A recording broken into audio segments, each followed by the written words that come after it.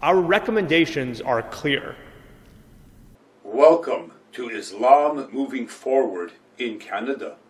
NCCM, National Council of Canadian Muslims, released on July 19, 2021, its recommendations. CEO Mustafa Farooq also made demands that the Canadian Liberal government, led by Justin Trudeau, must quickly make these implementations. The demands are broken down by federal, provincial, and municipal levels of government. Some of them include funding for a proposed national support fund for survivors of hate motivated crimes, an investigation into national security agencies and how they deal with white supremacist groups, and whether they, white supremacist groups, have infiltrated those agencies, as well as new provisions in the criminal code.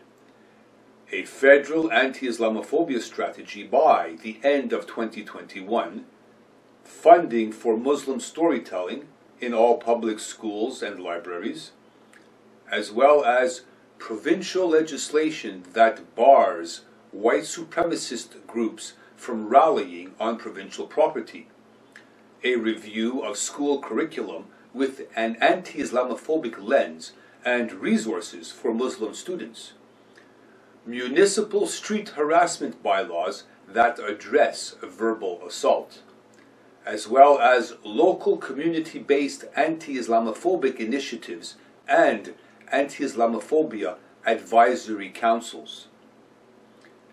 In 2012, CEO of NCCM National Council of Canadian Muslims, Mustafa Farooq, articulated his vision for a new Canada.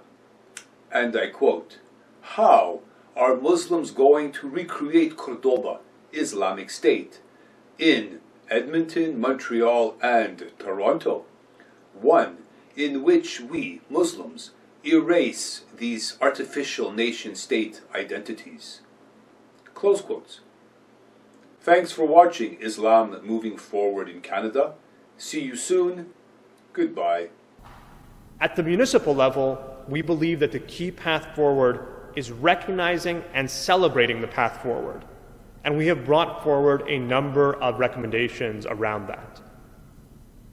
We need to see action, and we need to see it now. Governments attending the summit must know that we want more than their attendance. We want to see their commitment to timelines. And as we see daily attacks against our community members in since London, much more needs to be done. And it needs to be done now. At the end of the day, this is about choices. Do we choose to merely speak, to merely have words of consolation and consternation? Or do we choose to act? Thank you.